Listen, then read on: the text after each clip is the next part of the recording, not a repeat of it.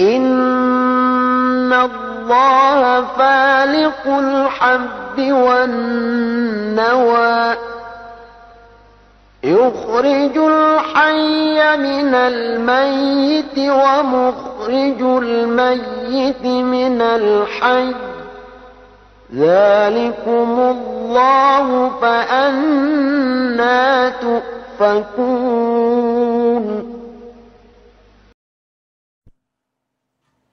Sesungguhnya Allah menumbuhkan butir tumbuh-tumbuhan dan biji buah-buahan.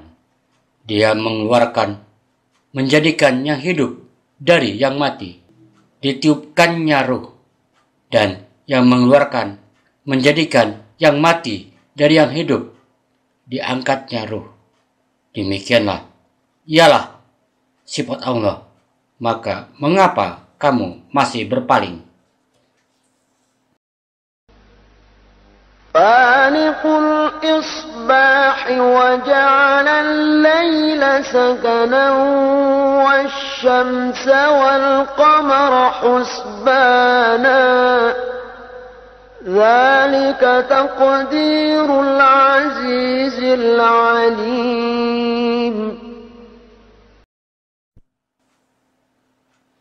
Dia menyingsingkan pagi dan menjadikan malam untuk beristirahat dan menjadikan matahari dan bulan untuk perhitungan. Itulah ketentuan Allah yang maha perkasa, lagi maha mengetahui.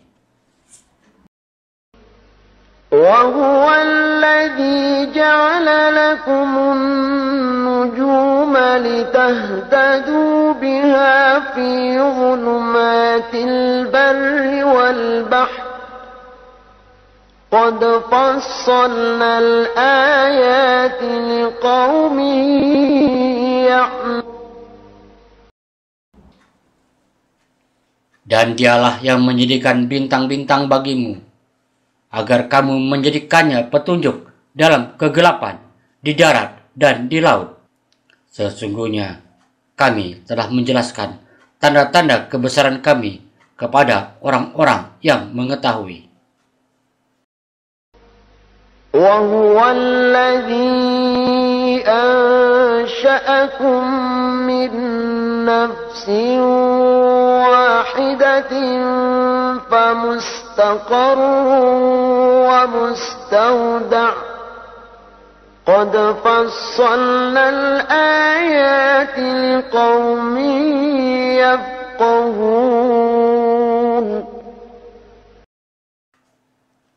Dan dialah yang menciptakan kamu dari seorang diri.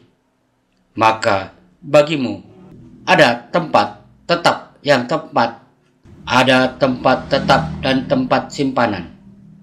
Sesungguhnya telah kami jelaskan tanda-tanda kebesaran kami kepada orang-orang yang mengetahui. وهو الذي أنزل من السماء ماء فأخرجنا به نبات كل شيء فأخرجنا منه خضرا نخرج منه حبا متراكبا.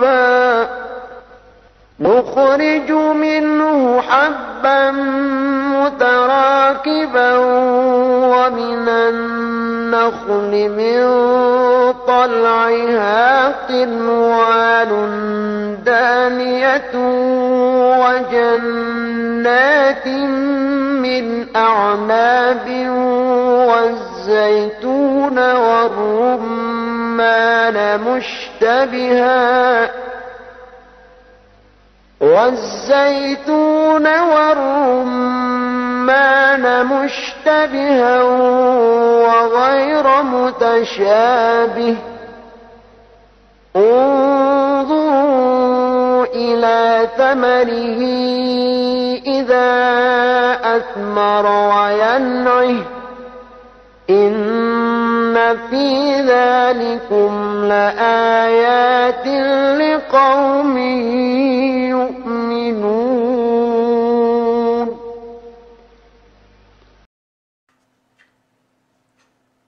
Dan dialah yang menurunkan air hujan dari langit. Lalu kami tumbuhkan dengan air itu segala macam tumbuh-tumbuhan. Maka kami keluarkan dari tumbuh-tumbuhan itu tanaman yang menghijau. Kami keluarkan dari tanaman yang menghijau itu butir yang banyak. Dan dari mayang kurma mengurai tangkai-tangkai yang menjuntai. Dan kebun-kebun anggur. Dan kami keluarkan pula zaitun dan delima yang serupa dan tidak serupa. Perhatikanlah buahnya di waktu pohonnya berbuah. Dan perhatikan pula lah kematangannya. Sesungguhnya pada yang demikian itu ada tanda-tanda kekuasaan Allah bagi orang-orang yang beriman. وجعلوا لله شركاء الجن وخلقهم وخرقوا له بنين وبنات بغير علم. سبحانه وتعالى عما يصفون. Dan mereka, orang-orang musyrik, menjadikan jin itu sekutu bagi Allah. Padahal Allah lah yang menciptakan jin-jin itu. Dan mereka membohongi dengan mengatakan bahwasanya Allah mempunyai anak laki-laki dan perempuan tanpa berdasarkan ilmu pengetahuan. Maha suci Allah dan maha tinggi dari sifat-sifat yang mereka berikan.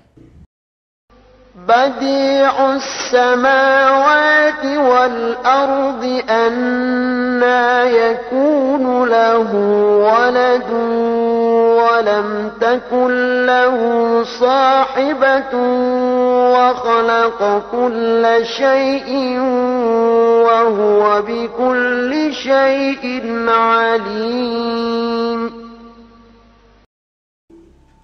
Dia pencipta langit dan bumi. Bagaimana dia mempunyai anak? Padahal dia tidak mempunyai istri. Dia menciptakan segala sesuatu dan dia mengetahui segala sesuatu.